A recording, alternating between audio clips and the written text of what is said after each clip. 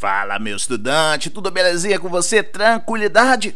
Aqui fala eu, professor Telmo. Seja bem-vindo mais uma aula. Hoje, matemática, vamos falar do Enem 2020. Prova presencial. Vamos resolver uma questão que envolve sistema decimal, galera. Vem comigo. Vamos nessa, galera. Olha só, pessoal. Um hotel de três andares está sendo construído.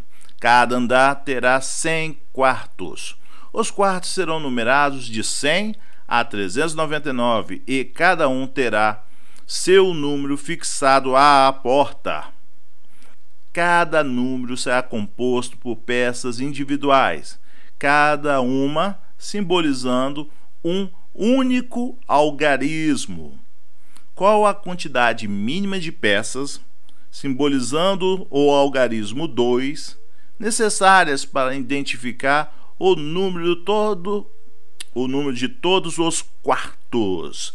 Então, galera, bom, vocês lembram de unidade, dezena e centena? Você já pensou, já usou isso alguma vez na sua vida? Então você vai usar agora. Se você nunca usou, você vai usar agora. Vamos recordar aqui rapidão. Nós temos aqui as unidades, dezena e centena certo? O exemplo: o 2 é unidade, o 7 é a parte das dezenas, ok? E o 6 a centena. Só recordando isso daqui, que a gente vai usar isso aqui para resolver essa questão. Bom, ele está falando aqui do quarto 100 ao 399. De 1 a 100, então não entra, tá? A gente não conta os números de 1 a 100. Bom, como que você vai fazer isso? Você tem que imaginar eu, para explicar e deixar você imaginando isso, eu vou fazer uma tabelinha aqui do lado.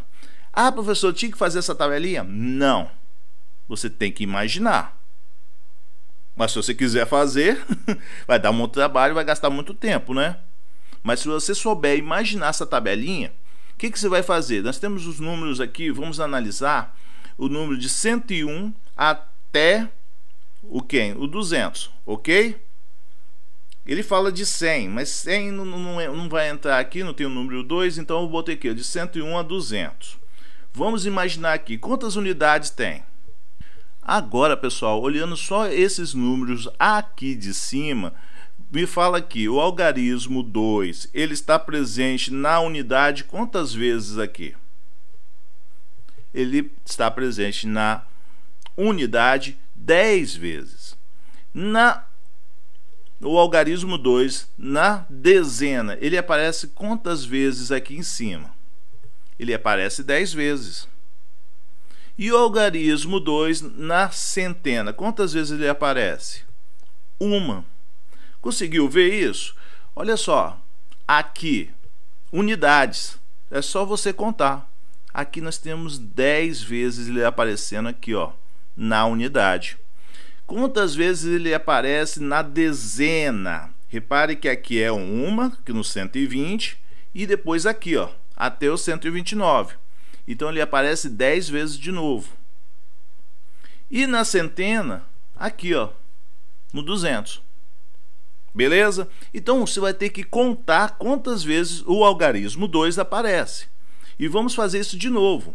Aqui embaixo, você treinar, tenta fazer de mentalmente aqui, ó. Quantas vezes aparece de 200 a 300? 201 a 300, o algarismo 2. Na unidade. Começando, começa na unidade. Na unidade é 10, não é? Na dezena, 10 de novo. E na centena, 99. Repare que a gente pega quase todo o quadro, menos a, ele não aparece só no 300. Então, nós temos 99 na centena. Dezena, repare que dezena e centena é a mesma coisa. Aqui na unidade ele aparece 10, na dezena ele aparece 10 de novo, certo? E na centena agora 99. Beleza? Agora faz aqui do último, o último na unidade, na dezena e na centena. Quantas vezes ele aparece? Aí, de novo, você faz a unidade, depois faz a dezena e por último a centena. vocês podem reparar que na centena ele não aparece nenhum. Então, pessoal, fez mentalmente? Aqui você vai ver quantos? 10 na unidade, 10 na dezena e 0 na centena. Na centena ele não aparece. Beleza, aí ele quer saber quanto, quantos esses algarismos 2 tem aqui. Bom, aí você vai fazer o seguinte, você vai somá-los. Repara que nós temos aqui no primeiro 10 mais 10 mais 1, depois 10 mais 10 mais 99, certo? Aqui já dá 140, mais 10 mais 10, 160. Logo, o total de quê? 60 peças com o algarismo 2. Resposta, letra A. Beleza, gente? Então, eu tentei buscar fazer dessa maneira para você entender. Mas você, para fazer isso daqui, você tem que fazer mentalmente. Bom, lembras assim da unidade, quantas vezes ela aparece.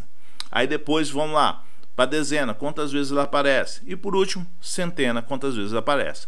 Se você usar esse método da unidade, dezena, centena, é muito mais fácil de resolver essa questão do que você contar um por um, certo? Vou ficando por aqui, um grande abraço e até a próxima, valeu!